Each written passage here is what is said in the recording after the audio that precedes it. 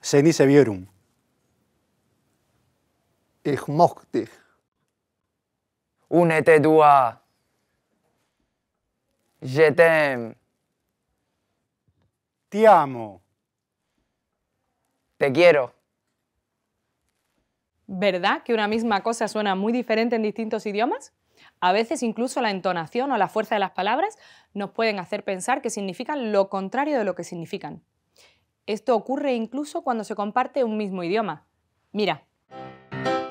Fresa. Frutilla. Un- La hermana menor de una fruta, una frutilla. Nosotros le decimos palta. Ah, palta. Aguacate. Cambur. ¿Qué? Cambur. ¿Cómo lo dicen ustedes? Banana.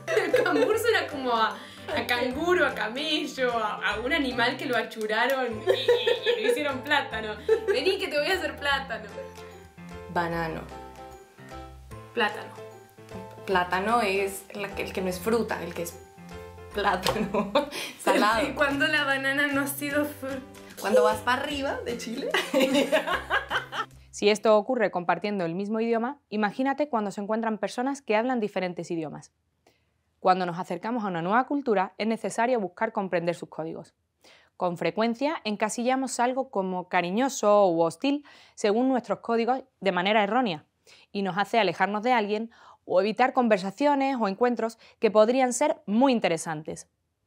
En el encuentro intercultural es necesario descifrar los códigos del otro para comprender el significado de lo que dice en su integridad, con su lenguaje verbal y no verbal. Esto es lo que se conoce como conciencia sociolingüística.